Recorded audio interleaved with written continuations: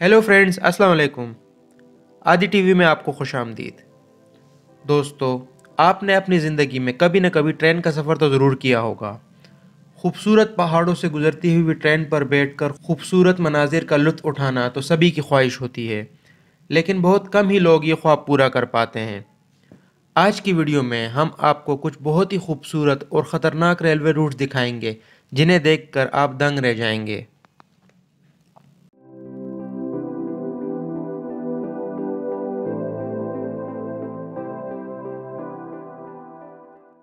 Number five माइकलोंग railway route ये एक बहुत ही अनोखा रेलवे रूट है, जो थाईलैंड के शहर बैंकॉक में वाक़ है।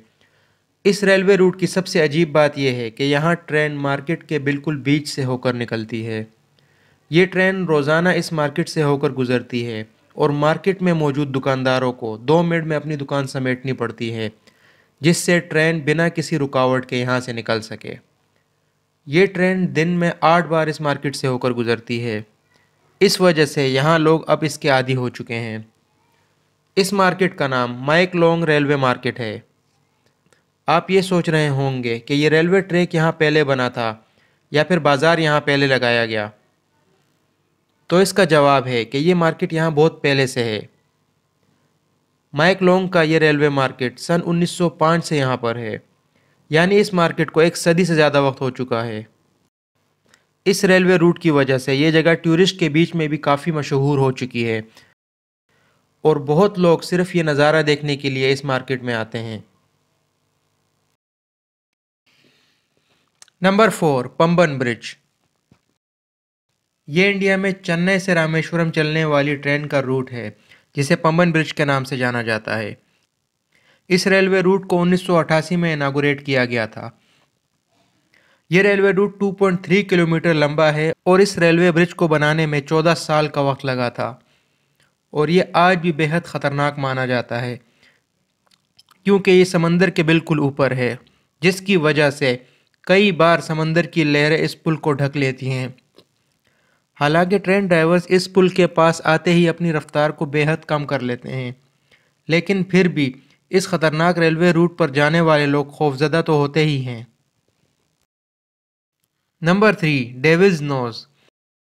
हमारा ये रेलवे रूट दुनिया के सबसे ख़तरनाक रूट में से एक है और इसको बनाने की हिस्ट्री भी काफ़ी हैरान कन है।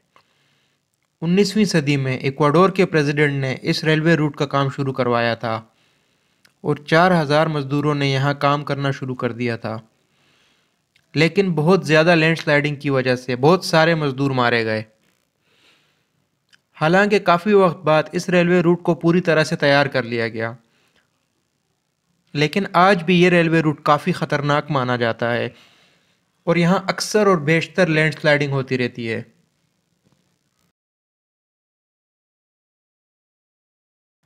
Number two train to the clouds train to the clouds के नाम से जाने जाने वाली ये ट्रेन अर्जेंटीना और चिल्ली को जोड़ती है। और इस रेलवे की शान बढ़ाता है। समंदर के लेवल से 4200 किलोमीटर ऊँचा रेलवे ब्रिज, जो दुनिया का पांचवा सबसे ऊँचा रेल ब्रिज है। पैसेंजर्स इस ट्रेन पर बैठकर पहाड़ों के खूबसूरत नज़ारे तो देखते ही हैं और साथ साथ उनको खूबसूरत खेत 21 लंबी टनल्स और 29 ब्रिजेस भी देखने को मिलते हैं। जिससे उनका ये सफ़र यादगार बन जाता है। क्या आप ऐसी एक्साइटिंग ट्रेन जर्नी पर जाना पसंद करेंगे? हमें कमेंट सेक्शन में ज़रूर बताइएगा। Number one White Pass and Yukon railway route और ये है हमारा सबसे ख़तरनाक रेलवे रूट जो अलास्का और कनाडा के दरमियान बना है। इस रेलवे रूट को अट्ठारह में बनाया गया था। लेकिन अब ये ब्रिज एक टूरिस्ट अट्रैक्शन बन चुका है। इस 175 किलोमीटर रूट पर ट्रेन को कई ख़तरनाक टर्न्स ऊँचे पहाड़ों, अंधेरे से भरी सुरंगों और लकड़ी से बने ब्रिजेस के ऊपर से होकर गुजरना पड़ता है। जो कि इस पर बैठे पैसेंजर्स को खौफजदा कर देता है। लेकिन फिर भी हज़ारों सयाह हर साल इस रेलवे रूट का मज़ा लेने के लिए इसकी राइड पर जाते हैं। और कई बार इस रूट पर लोगों को धुन का सामना भी करना पड़ता है। और अक्सर बहुत ज़्यादा धुन होने की वजह से ट्रेन को रोकना भी पड़ जाता है, क्योंकि सामने का रास्ता बिल्कुल भी नज़र नहीं आता। दोस्तों, ये थे दुनिया भर में मौजूद बहुत ही अलग और ख़तरनाक रेलवे रूट्स। वीडियो देखने का बहुत शुक्रिया दोस्तों, उम्मीद है आपको ये वीडियो पसंद आई होगी।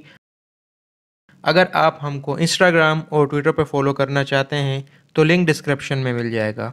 और अगर आप मज़ीद ऐसी मालूमती वीडियोस देखना चाहते हैं तो हमारे चैनल आदि टीवी को ज़रूर सब्सक्राइब करें। अपना बहुत सारा ख्याल रखिएगा। खुदा हाफिज़।